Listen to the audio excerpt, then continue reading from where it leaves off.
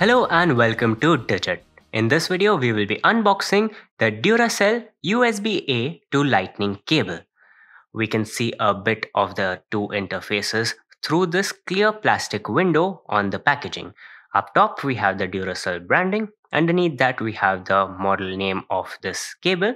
On the left hand side, right here, we have the length of the cable, which is 1.2 meters.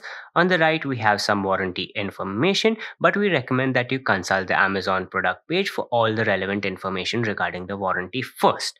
Next, we have a, a little box which says quick charge and quick sync compatible.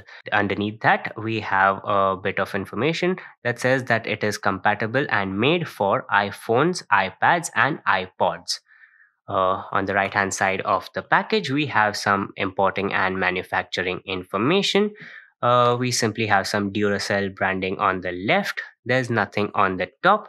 And once again, some Duracell branding on the bottom. On the back, we have a full list of all the products that this uh, cable is compatible with. We also have four of the salient features, which include a tangle-free design, tough braided material, and durable thanks to the tough braided material, and a current carrying capacity of 2.4 amperes. That's about it in terms of what is on the outside of the package, so let's get into it now. On the inside, all we get is the cable itself. Uh, we already know that it is 1.2 meters long thanks to the box and we also know that it has a nylon braided build.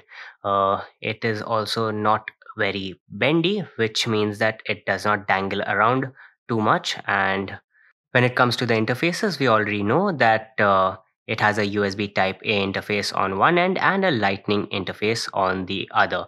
The lightning interface has the typical uh, Duracell color theme which is copper and black and there is some Duracell branding on both the interface jackets as well. Uh, you also get some branding on this velcro strap that keeps the uh, cable in place and helps with cable management. To see the product in action, we have a power strip right here and we also have a compatible device, in this case an iPhone.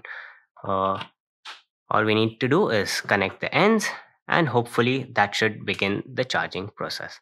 And as you can see, it uh, begins to charge the device immediately. So this was the unboxing of the Duracell USB-A to lightning cable. Thank you for watching and we'll see you in the next one.